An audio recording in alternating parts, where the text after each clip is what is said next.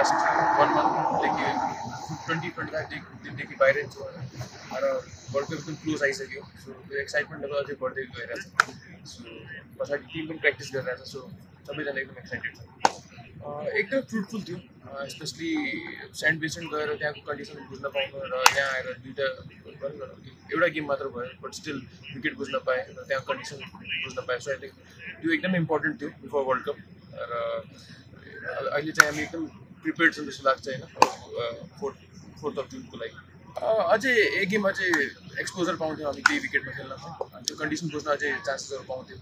So but having set that एउटा गेमले पनि त्यो बुझ्न सकिन्छ होइन र त्यो दिन चाहिँ हामीले म्याच नभएर प्र्याक्टिस गऱ्यौँ। युटिलाइज त्यो दिनलाई पनि युटिलाइज गऱ्यौँ।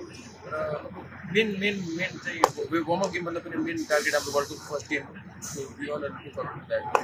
युएसएमा आएपछि चाहिँ धेरै धेरै फ्यान्सहरूसँग इन्टरेक्सन इन्टरेक्ट गरेँ होइन? स्पेसली जति हामी प्रिपेयर छौँ आई थिङ्क उहाँहरू हामीभन्दा पनि बढी प्रिपेयर छ जस्तो लाग्छ होइन? वर्ल्ड कपको लागि।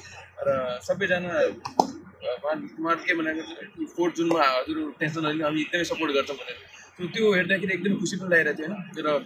र नेपालको कुरा कुरा के गर्ने उहाँ त आई थिङ्क हामीभन्दा पनि डबल डबल ट्रिपल प्रिपेयर छ त्यो म्याचको लागि सो आई थिङ्क उहाँहरूको लागि त्यही हो त्यो दिन चाहिँ हामी आफ्नो बेस्ट क्रिकेट खेलेर चाहिँ उहाँहरूलाई प्राउड गराउने फिल गराउने एफर्ट हाल्छौँ र एज एज अ टिम चाहिँ हामी एकदम प्रिपेयर छौँ त्यस्तो केही पनि यो मोमेन्टलाई खास केही पनि लिएको छैन होइन सो त्यसको बारेमा केही पनि सोचेको छैन आई थिङ्क अब आइसिसीले पनि क्रिकेट ग्रो गराएर छ ओभरअल वर्ल्ड वाइडमा सो आई थिङ्क यो एकदमै राम्रो इनिसिएटिभ हो आइसिसीको सो यसै ग्रो गऱ्यो भने चाहिँ आई थिङ्क वर्ल्ड वाइडमा क्रिकेट पपुलर हुन्छ र ड्यालेसको कुरा गर्दाखेरि आई थिङ्क यहाँ चाहिँ एकदमै सपोर्ट छ नेपाललाई र जुन हिसाबले सबैजना सपोर्ट गरिरहेको त्यो हेर्दा एकदमै खुसी लागिरहेको टियु पछि चाहिँ आई थिङ्क ड्यालेस ड्यालेस नै होला जस्तो छ किनभने सबैजना हेर्दाखेरि नै त्यो के भन्नुहुन्छ कि हन्ड्रेड पर्सेन्ट क्राउड हुन्छ भने ninety percent ninety five percent Nepali हुन्छन् भनेर सो अब त्यो अब त्यो चाहिँ फोर्थ अफ जुनमा थाहा हुन्छ. बट स्टिल मलाई लाग्छ आउँछ सबैजना वेस्ट इन्डिज र युएसएमा डिफ्रेन्स छ विकेटमा चाहिँ छ. स्पेसली जाम खेल्दा त्यो स्लोवर अलिकति लो वेस्ट इन्डिजमा र यहाँ आएपछि अलिकति बााउन्स छ क्रिकेटमा। सो त्यो त्यो त्यो कन्डिसनलाई एडप्ट गरेर खेल्न एकदम जरुरी छ किनभने त्यो विकेटको आइडिया पनि भइसक्यो हामीलाई। होइन सो त्यही हिसाबले प्लान गरिरहेछौँ हामी। र hopefully will execute fourth of अब ग्रुप टफ छ होइन? अब यो वर्ल्ड कप भनेको इजी होइन। यहाँ कुनै पनि अब भनौँ न विक टिम आउँदैन। सो यही अपर्च्युनिटी त्यहाँ चाहिँ हामी आफ्नो स्किल्स सोकेस गर्न सक्छौँ वर्ल्डको अगाडि होइन? सो त्यो त्यो त्यो भनौँ न त्यो अपर्च्युनिटीलाई युटिलाइज गर्नुपर्छ जस्तो लाग्छ मलाई होइन?